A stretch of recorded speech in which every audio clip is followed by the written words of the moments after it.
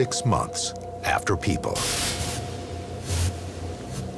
Some ski runs are beginning to look the way they did before man claimed them as his winter playground.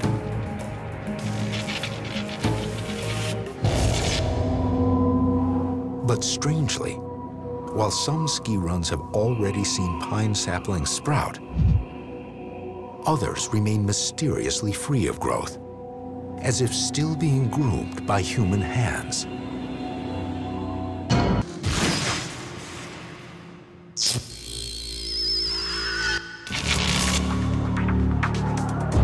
Fifty years after people, a mystery remains on the ski slopes. While some ski runs have completely reverted to nature, others are strangely clear, as if groomed just yesterday. The reason.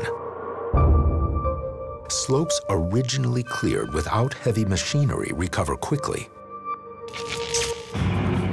But those that were intensively engineered or graded defy the return of nature. Graded ski runs are machine graded with heavy equipment like bulldozers and scrapers, things like that.